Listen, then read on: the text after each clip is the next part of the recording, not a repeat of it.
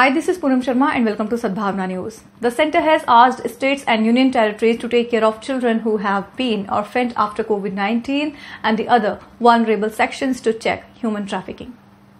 The center said it will give high priority to combating of crime against women, children, senior citizens and scheduled caste and scheduled tribes and will soon have institutional mechanism for preventing and countering human trafficking.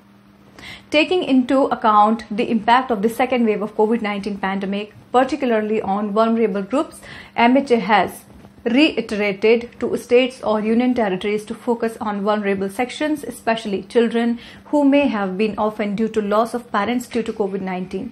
A Home Ministry communication said. Immediately review existing facilities for such groups, especially for children orphaned, senior citizens who may require assistance and support, medical as well as safety and security, and members of scheduled caste and scheduled tribes who may need guidance to access government supported facilities. The states have been asked to effectively deploy women help desk in police stations and anti-human trafficking units in districts. The center has asked states to use tools of the National Crime Records Bureau like Center Agency for sharing interstate information among police, crime and criminal tracking network and system for tracking missing persons and automated photo matching web-based application unified to search pictures of missing persons, unidentified bodies among others.